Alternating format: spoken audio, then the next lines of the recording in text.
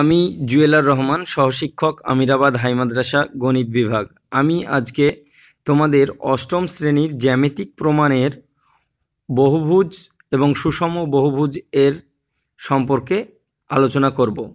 তো প্রথমেই দেখো, আমরা যে সব বিষয়গুলো গত দু তিন দিনের ভিডিওতে শিখেছি, সেগুলো দেখো। তো প্রথমে আমরা শিখেছিলাম কি এন সংখ্যক বাহবিশিষ্ট যে কোনো সুষম যে কোনো বহুভুজের অন্তঃকোণগুলোর সমষ্টি এবং বহিঃকোণগুলোর সমষ্টি কি হবে? আশা করছি সবার মনে আছে, তবুও আমি আর একবার লিখে দিচ্ছি। দেখো কি হবে সেটা লিখে দিলাম।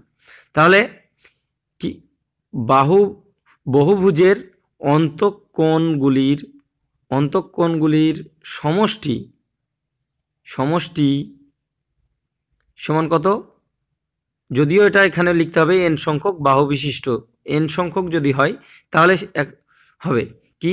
Two into N minus two সমকোণ। এবং এরপরে আমরা কি জানি বা এটাকে অন্যভাবেও লেখা যায় two into N minus two into নব্বই ডিগ্রি সমকোণের জায়গায়, ঠিক আছে? আর একটা আমরা শিখেছি কি? এন সংখ্যক বাহু বিশিষ্ট বহুভুজের বহিকোণের সমষ্টি। এবং এটা আমরা জানি যে বহিকোণের সমষ্টি কি হবে? এখান থেকে হিসাব যদি করি তাহলে তিনশো ষাট ডিগ্রি, এটা গত দিনেই আমরা শিখিয়ে দিয়েছিলাম। তো আজকে আমরা শিখব যে বহুভুজ শিখেছিলাম এর আগে, আজকে আমরা শিখব যে সুষম বহুভুজ কাকে বলে? তো সুষম বহুভুজ জানতে গেলে আগে বহুভুজ সম্পর্কে জানতে, যেসব বিষয় জানতে হয় সেগুলো শিখে নিলে। তো দেখো, সুষম বহুভুজ কাকে বলে? যে বহুভুজের সকল বাহুর দৈর্ঘ্য সমান এবং প্রতিটি অন্তঃকোণ সমান, তাকে সুষম বহুভুজ বলে। মানে কি? যে একটা বহুভুজ থাকবে, তার সব বাহুকে কি হতে হবে? সমান হতে হবে এবং প্রতিটি অন্তঃকোণের মান কি হতে হবে? সমান হতে হবে।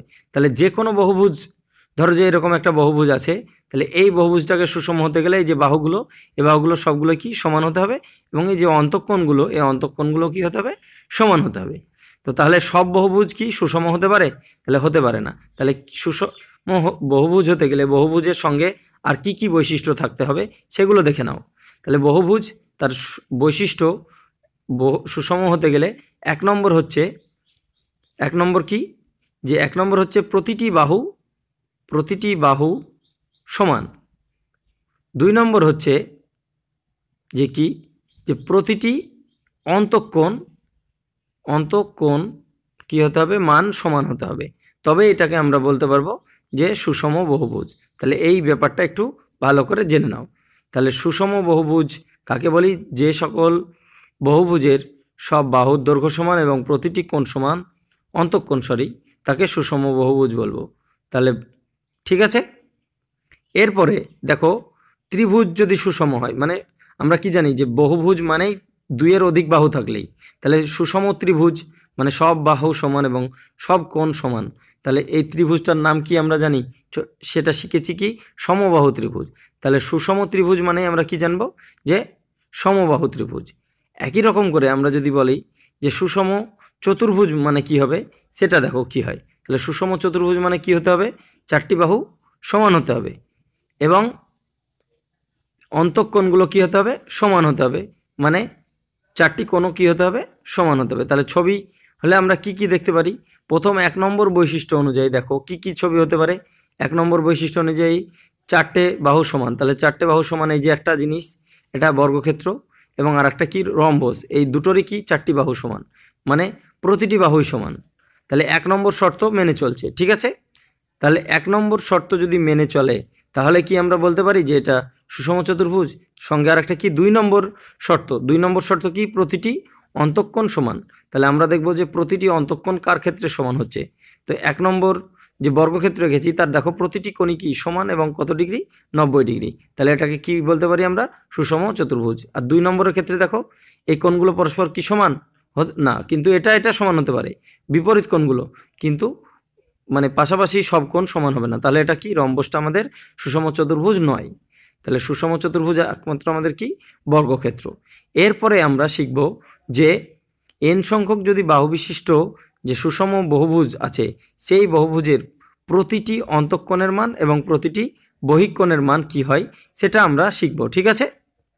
দেখো এন সংখ্যক বাহু বিশিষ্ট বহুভুজের এন সংখ্যক বা এনটি অন্তঃকোণের সমষ্টি কি হয়? অন্তঃকোণের সমষ্টি আমরা জানি কি? Two into n minus two কি সমকোণ? বা এটাকে কেউ লিখতে পারে two into n minus two into কত? নব্বই ডিগ্রি। ঠিক আছে? এরপরে আমরা যদি এনটি অন্তঃকোণ এনটি অন্তঃকোণ বলেছে, আমরা কি জানি যে সুষম বহুভুজ মানে প্রতিটি অন্তঃকোণের মান কি হয়? সমান হয়। তাহলে আমরা যদি ভাবি যে পাঁচটি বাহু বিশিষ্ট একটা বহুভুজের অন্তঃকোণগুলোর সমষ্টি ধরো যে ছশো ডিগ্রি, তাহলে একটি বাহু কত হবে? একটি কোণের মান কত হবে? ছশো বাই পাঁচ, কারণ প্রত্যেকটি কোণই কি সমান? তাহলে ওই রকমভাবে আমরা এখান থেকে যদি বলি এন সংখ্যক বাহুবিশিষ্ট বহুভুজে, যদি এখানে বাহু বিশিষ্ট সুষম বহুভুজ, এখন আর বহুভুজ না শুধু, সুষম বহুভুজের ক্ষেত্রে একটি অন্তঃকোণ, একটি একটি বা প্রতিটি অন্তঃকোণের সমষ্টি সরি অন্তঃকোণ কত হবে? এন দিয়ে কী করতে হবে? ভাগ করতে হবে। তাহলে two into n minus two into নব্বই ডিগ্রি বাই কী হবে? এন হবে। বা two into n minus two সমকোণ বাই কত? এন তাহলে এই সূত্রটা ভালো করে জেনে রাখবে। কেউ এটাকে যা আছে তার সঙ্গে সমকোণের জায়গায় নব্বই ডিগ্রিও বসাতে পারে। ঠিক আছে? তাহলে এটা অবশ্যই ভালো করে দেখে নেবে।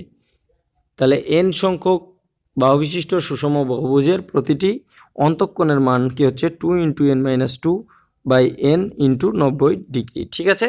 বা এটা সমকোণ। এরপরে আমরা দেখব যে প্রতিটি বহিকোণের মান কি হয়, সেটা দেখব। তো আমরা কি জানি যে যে কোনো একটা বহুভুজের ক্ষেত্রে বা যে কোনো একটা জায়গায় একটি শীর্ষবিন্দুতে অবস্থিত একটা অন্তঃকোণ এবং একটা বহিকোণের সমষ্টি কত হয় ন, একশো আশি ডিগ্রি বা দুই সমকোণ হয়, তো সেইখান থেকে আমরা প্রতিটি বহিকোণের মানও বার করতে পারি। ধরো যে এটা একটা বহুভুজ। তো এই বহুভুজের এখানে একটা আমি বহিকোণ আঁকলাম। তাহলে দেখো বহিকোণ এবং এই যে অন্তঃকোণ, এই অন্তঃকোণ আর বহিত এর সমষ্টি কত একশো আশি ডিগ্রি বা দুই সমকোণ। একই রকমভাবে এই- এইটা এবং এইটা যদি হয়, তবুও কত? একশো আশি ডিগ্রি বা দুই সমকোণ। তাহলে অন্তঃকোণ এবং বহিকোণের মান যোগফল কত? একশো আশি ডিগ্রি। তাহলে প্রতিটি বহিকোণের মান যদি বার করতে দেয়, তাহলে কি একশো আশি থেকে অন্তঃকোণ কি বিয়োগ করে দেবো? তাহলে একশো আশি ডিগ্রি মাইনাস একশো আশি ডিগ্রি মাইনাস এই যে জায়গাটা আছে, পুরোটা বাদ দিয়ে দিলাম। তাহলে বাদ দিয়ে দাও, তাহলে কি হচ্ছে দেখো, যে আমরা এটাকে যদি ভালো করে লিখি, একশো আশি degree minus two into n minus two, নব্বই ডিগ্রি বাই এন, এবং এটাকে, সরি, এখানে টু হবে না, এখানে হবে, এন হবে, এখানে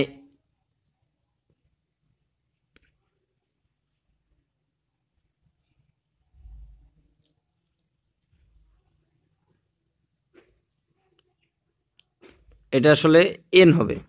এবং এটা হিসাব করলে দেখো একশো আশি এন মাইনাস এটা টু এন ইন্টু নব্বই মানে দেখো এটাও গুণ করলে একশো আশি এন হচ্ছে।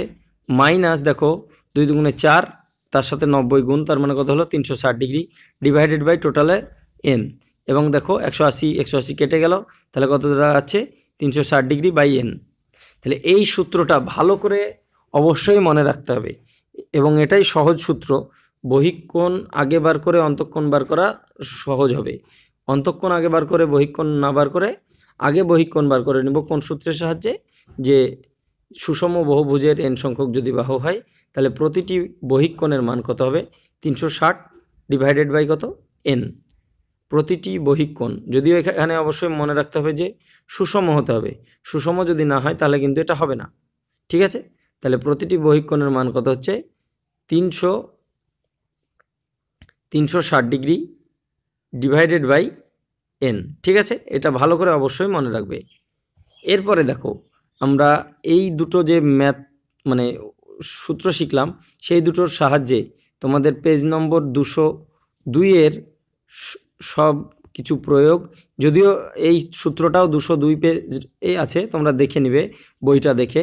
এই দুইশো দুই পেজের প্রয়োগ একে দেখো, তোমাদের লেখা আছে একটা অঙ্ক লেখা আছে। দেখো, একটি বহুভুজ যদি হয়, সেই বহুভুজের বারোটি যদি বাহু থাকে, তাহলে তাদের অন্তঃকোণের সমষ্টি। তাহলে অন্তঃকোণগুলোর সমষ্টি যদি নির্ণয় করতে বলে, তাহলে আমরা কি জানি সূত্র? Two into n minus two সমকোণ।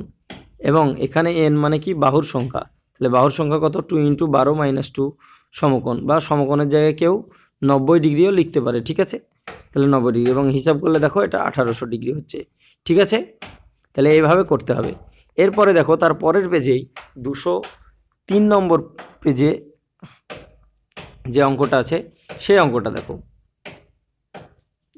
এই অঙ্কটা ভালো করে দেখে নিও এবং বই দেখে বুঝে নিও। তারপরে দেখো তিন, দুশো তিন পেজে দেখো, একটা বহুভুজ আছে যে বহুভুজের সুষম বহুভুজ তার প্র- প্রতিটি অন্তঃকোণের পরিমাপ নির্ণয় করতে দিয়েছে এবং বলে দেওয়া আছে যে তার বাহু সংখ্যা।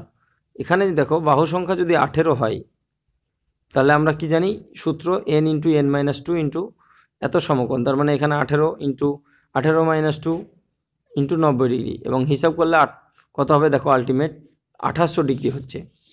এবং এখানে যদি বলে যে প্রতিটি বহিকোণের পরিমাপ কত হবে, তাহলে আমরা কি করব?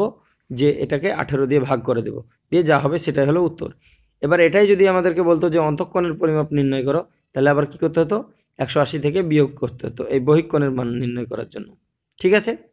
এরপরে তোমাদের দুশো তিন নম্বর পেজে যে অনুশীলনী আছে, অর্থাৎ এক্সারসাইজ যেটা আছে twenty point two exercise number twenty point two সেই যে এক্সারসাইজ তার দেখো একের যে অঙ্কগুলো, সেই অঙ্কগুলোর ক্ষেত্রে লেখা আছে যে নিচের প্রতিটি ক্ষেত্রে বাহুবিশিষ্ট বহুভুজের ক্ষেত্রে কী নির্ণয় করতে বলেছে?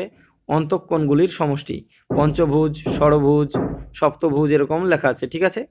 তাহলে আমরা প্রথমেই দেখো পঞ্চভুজ আছে। তাহলে সূত্র কি? Two into n minus two সমকোণ, অন্তঃকোণের সমষ্টি। তাহলে অন্তঃকোণের সমষ্টি, তাহলে এনের মান এখানে পাঁচ, তাহলে পাঁচ বসিয়ে দিলাম, তাহলে যেটা হবে সেটাই। তাহলে এইভাবে এখানকার প্রতিটি ম্যাথ এখান থেকে করবে, এইভাবেই। একই রকমের সূত্রের সাহায্যে বাকিগুলো আমরা করা, দেওয়ার চেষ্টা করব। ধন্যবাদ।